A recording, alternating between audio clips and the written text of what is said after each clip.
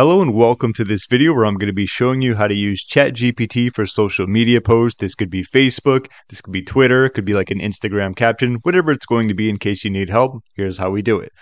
So let's move to the bottom section right here. And let's say we're going to be utilizing Facebook. So let me type in, okay, write a Facebook post about. This is where you can get creative. Obviously, whatever you feel like writing a post about. My channel is obviously about marketing, so I like doing stuff that's kind of marketing related. Give me a second and I'll come back with an example for you. All right, so write a Facebook post about why TikTok is better than Facebook for marketing. Okay, let's see what we get. Let's click on this little arrow button. All right, so I had an error when creating it. Uh, as expected, it says they're experiencing high demand, which has been going on for a while like that. But anyway, let's try it again. All right, this looks more or reads more like a testimonial, but hey, we're still getting content, right? Just tried out marketing on TikTok and I have to say I'm impressed. The engagement and reach on my content is through the roof compared to Facebook.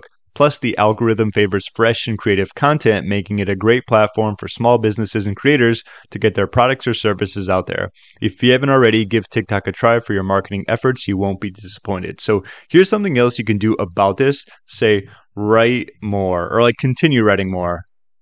Okay, keep in mind that you can always write more or just get additional information. So let's do that. Maybe you want to write a little bit longer Facebook post. Okay, I'm going to start kind of reading as it's going through. So it talks about is the younger demographic. With over 60% of users under the age of 30, TikTok is a great way to reach the Gen Z and millennial audience. I don't know if that's true, so keep in mind you are going to have to do some research, fact check things.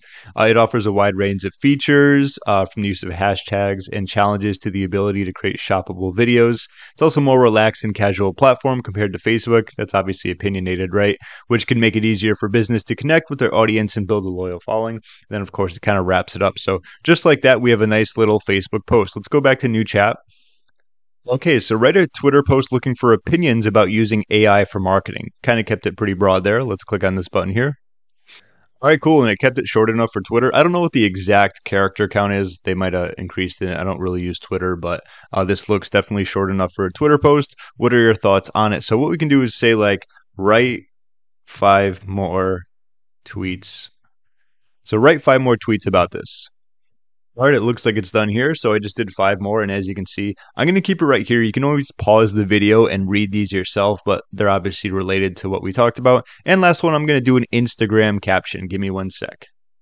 All right, so write an Instagram caption about visiting Queenstown, New Zealand, and how beautiful it was. First thing that came to mind, I did go there. It was beautiful. Let's see what they had to say. Fell in love with the breathtaking beauty of Queenstown, New Zealand. So let's do write five more captions. Oh, here we go again. So, like I said, this happens a lot. I'm going to go to new chat.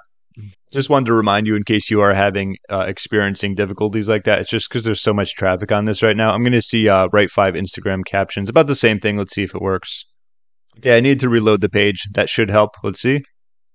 Right, there we are. So if you ever having trouble with ChatGPT, just try like reloading the page and then going from there. I will keep these up. I'm not going to read them, but these are some examples about how you can use ChatGPT for social media posts specifically. You can do it for Facebook, you can do it for Twitter, you can do it for uh, Instagram captions. Heck, you can do it for like LinkedIn or whatever social media platform you want to utilize. If you have any questions, feel free to leave a comment down below. If you have any requests for what you want me to do video wise for ChatGPT, let me know as well. I'm going to be doing plenty more videos, but it's always cool to get some requests, get some new ideas. My name is James. Thank you so much for watching, and I'll see you in my next video.